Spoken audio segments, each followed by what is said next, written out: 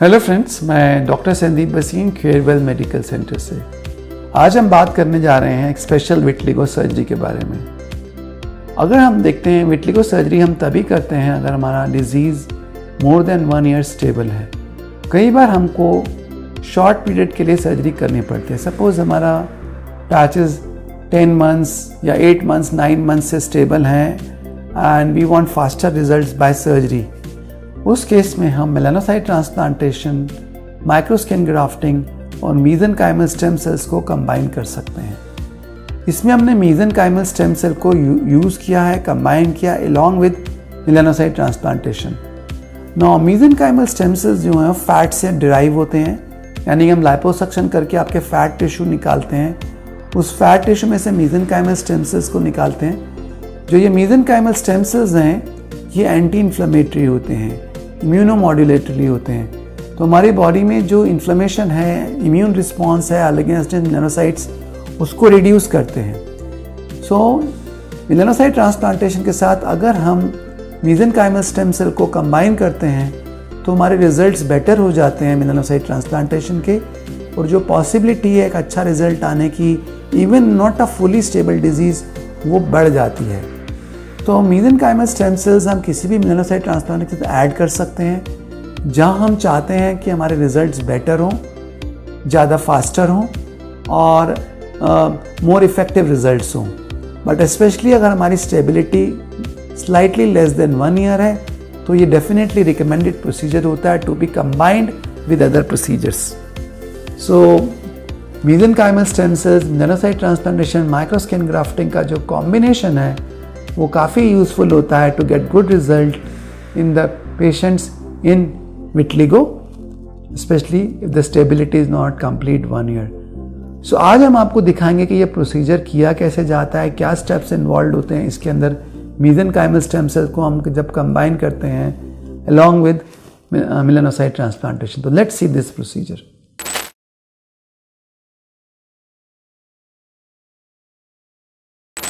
कुछ एरियाज़ हैं जो वाइट पैचेस के हैं जिनकी stability less than one year है nine months to ten months and the patient want faster results so हम इन एरियाज़ को ले रहे हैं जिसमें हम मिलेनोसाइट ट्रांसप्लांटेशन और माइक्रोस्किन ग्राफ्टिंग को कंबाइन करने वाले हैं।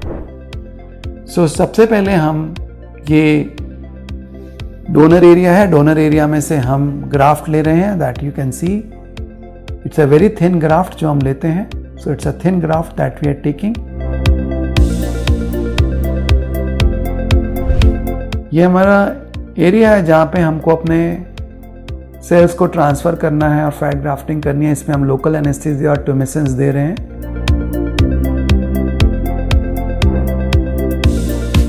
इन एरियाज़ को हम डर्म अपग्रेड कर रहे हैं रॉ कर रहे हैं।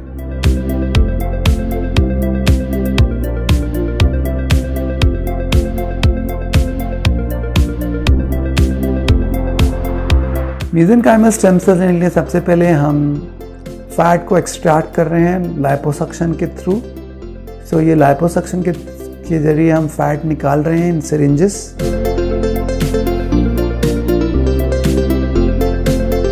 ये फैट सेल्स हैं जो हमने निकाले हैं थाई से पेशेंट की. फैट सेल को हम प्रोसेस कर रहे हैं थ्रू डिफरेंट प्रोसेसेस ताकि हमको मीजन काइमल स्टेम सेल्स मिल सकें.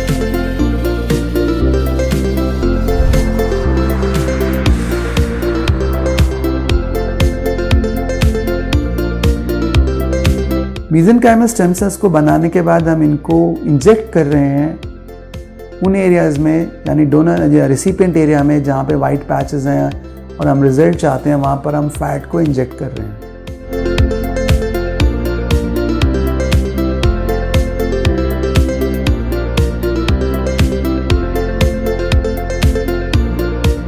ये हमारे मीजन काइमल स्टेम सेल्स हैं। और ये हमारे मिलानिन पिगमेंट हैं, जो हमने मिलानोसाइट ट्रांसप्लांट ले लिए हैं। ये मिलानिन पिगमेंट हैं you can see they are ready इसको हम डम अपग्रेडेड एरिया के ऊपर ट्रांसफ़र कर रहे हैं।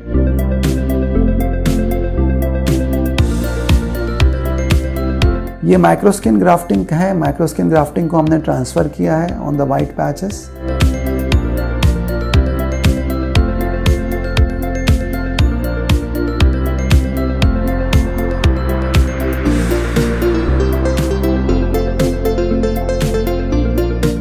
and now we are transferring the melanin pigments हम मिलानिन पिगमेंट को ट्रांसफ़र कर रहे हैं इनके ऊपर। So we see that we have combined three procedures mesenchymal stem cells micro skin grafting and also our melanocyte transplantation तीनों का combination use किया गया है इस प्रोसीजर के अंदर।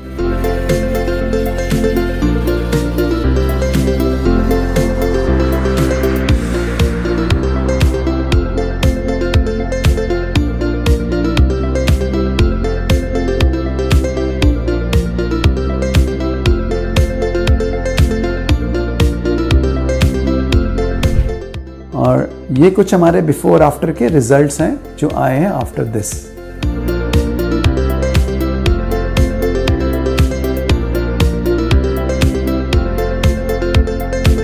आई होप आपको ये वीडियो पसंद आया होगा कि मीजन काइमल स्टेम सेल्स को विटलिगो सर्जरी में कैसे यूज़ किया जाता है। आपकी कोई भी इंक्वायरीज हो रिगार्डिंग विटलिगो सर्जरी या मीजन काइमल स्टेम सेल्स या मेलानोसाइट ट्रांसप्लांटेशन तो वो आप नीचे कमेंट्स में लिख सकते हैं। We can answer this our team will answer them. और अगर आपको हमारा वीडियो अच्छा लगा तो please like and subscribe it. आप किसी और टॉपिक पे अगर कोई वीडियो चाहते हैं तो वो आप ज़रूर मेंशन करें। We like to make the video on those topics thank you friends